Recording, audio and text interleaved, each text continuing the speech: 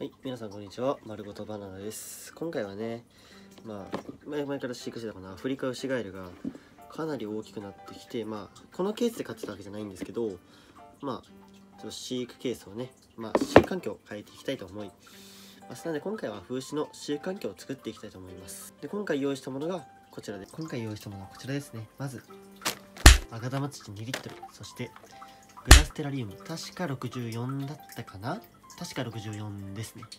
後で詳細を置いときます。で、まあ、アフリカウシガエルと水入れ兼タッパですね。こちらを使って飼育ケースを作っていきたいと思います。で、まあ、簡単に環境を作ろうと思ってるんですけど、まずこれをぶち込んで、まあ、この子を入れて、あれ入れるっていう感じの、まあ、簡単ですね。はい。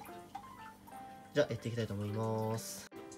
はい、じゃあ今から作っていきたいと思います。まずこの蓋をね、上を外して、でぽい。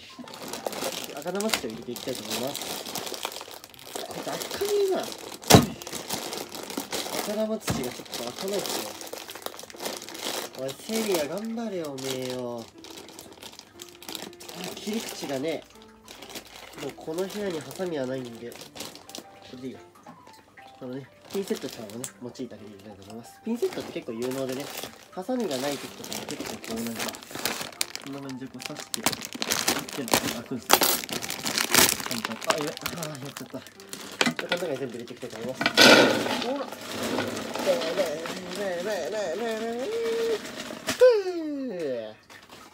はい。で、この落ちちゃった。赤玉土も入れていきます。よいしょ。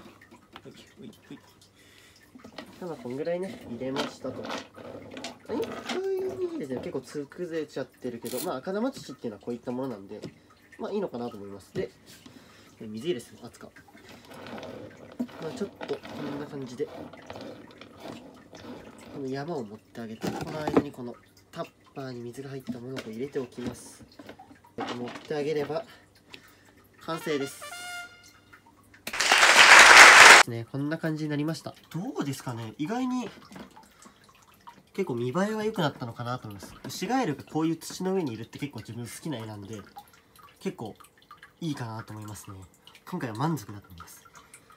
かわいいでちょねー。ということで今回はご視聴ありがとうございました。バイバーイ。